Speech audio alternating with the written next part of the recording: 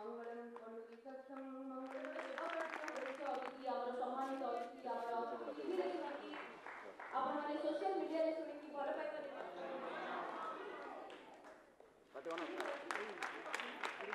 ସମାଜ ଯେଉଁଭଳି ଭାବରେ ଆଜି ଅଧପତନ ଆଡ଼କୁ ଗତି କରୁଛି ଏବଂ ସମାଜରେ ମାନବର ପ୍ରକୃତି କିଭଳି ଭାବରେ ପରିବର୍ତ୍ତନ ଘଟୁଛି ଏହା ପରିବର୍ତ୍ତନ ଘଟିବା ଯୋଗୁଁ କିଭଳି ଭାବରେ ଗାଁ ପରିବେଶ ହେଉ ମାନବିକତାର ମୂଲ୍ୟବୋଧର ଅବକ୍ଷୟ ଘଟୁଛି ତାହା ଏଠି ଉପସ୍ଥାପନ କରିଛନ୍ତି ଏ ବହିଟିକୁ ସମସ୍ତେ ପଢ଼ିବା ଦରକାର।